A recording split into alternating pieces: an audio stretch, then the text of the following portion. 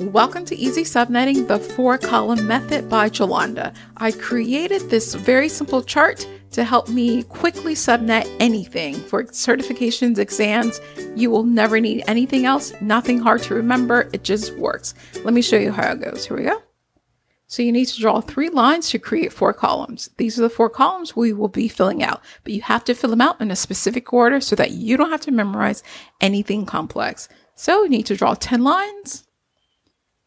Then you need to number starting in column 1, 0, 1, 2, 3, 4, 5, 6, 7, 8. These represent the number ones in octet. Next, you go to column 3 and you reverse it, starting from 0, 1, 2, 3, 4, 5, 6, 7, 8. This represents the number of zeros in octet. Next, you need to fill out column 4. You start with 1. Double 1 is 2, double 2 is 4, 8, 16, 32, 64, 128. Double 128 is 256. Finally, you go to chart 2 and you start at the top and you just simply add the number. So 0 starts with 128. 128 plus 64 is 192. 192 plus 32 is 224. 224 plus 16 is 240. Plus 8 is 248. Plus 4 is 252. Plus 2 is 254. Plus 1 is 255. This chart has everything, including the power of twos built right in. So here you go, column three and four. So if you have something two to the six power, you just look for the six in column three, look over in column four, and you'll see that's 64. Very easy. Here is a full chart, the only chart you'll ever need to quickly do subnetting. You start at zero and you either start counting down from slash eight slash 16 or slash 24. I will show you how this works. We're going to answer the questions below using the chart. For slash 27 CIDR, we start counting off at 24. So start at 24. So this will be 24, 25, 26, 27. So this is our line. This one line will be able to answer all of these questions. Here we go. How many subnets are possible? It says here 2x. So let's see. 2x is 3. So 2 to the third power. If we look at our chart, 3, 2 to the third power is 8. So the answer is 8. What is the subnet mask? We go across. Subnet mask is 224.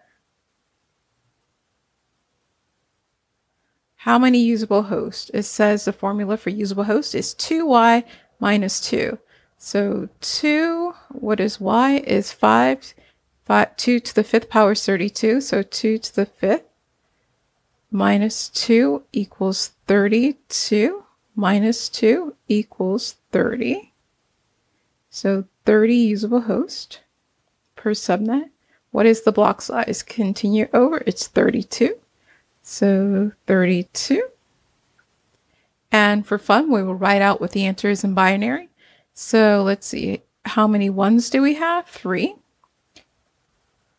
One, two, three. And how many zeros do we have? Five. One, two, three, four, five. See how easy it is using the simple chart. Here's what to do when you're only giving the subnet. You first need to identify the interesting subnet. Next, you need to find the subnet on the chart, find the block size, and then chart the values. So let's get started by writing out the IP address.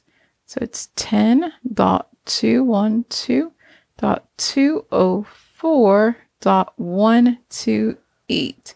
And the interesting octet, so it's be 255. So it's not that one. 255 it's not that one. 252, aha, uh-huh, it's this one. And this will be zero. Okay, so now we I like to go we need to find 252 on the chart. To 252, here it is which means the block size is going to be 4.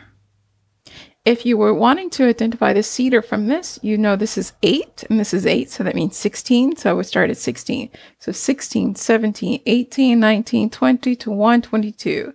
So this is slash 22. Okay, but it didn't ask for that. So let's continue. So now we need to find the last valid host on this net network. So since we have to include a subnet that also includes 204, and we're only moving in blocks of four, I like to identify a pattern.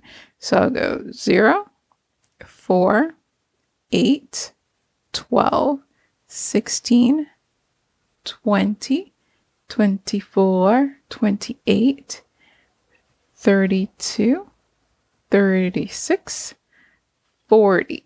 Okay, so I see the pattern is 20 and 40. So I'll go all the way 20, 40, all the way till I get up to 200. So let's see 20, 40, 60, 80, 100, 120, 140, 180, 200. Next one will be 220. Okay, so I, I'm going to start at 200. So be 200.0, 204.0, 208.0, because we're moving in block sizes of four. So this would be the starting, the first, the last, and the broadcast. So 204. Oh, here, this is one we're solving for. So 2, 208. So one less is 207.255. First would be 204.1, and the last one would be 207, one less than this broadcast, 254. So the answer to this question, the last valid host on this network is 10.212.207.254. But these are the valid hosts in case you're wondering. So see, the chart still works. It's just a very easy way to find your block size so you can figure out how to configure all your hosts. All right, I hope that helps. Thanks.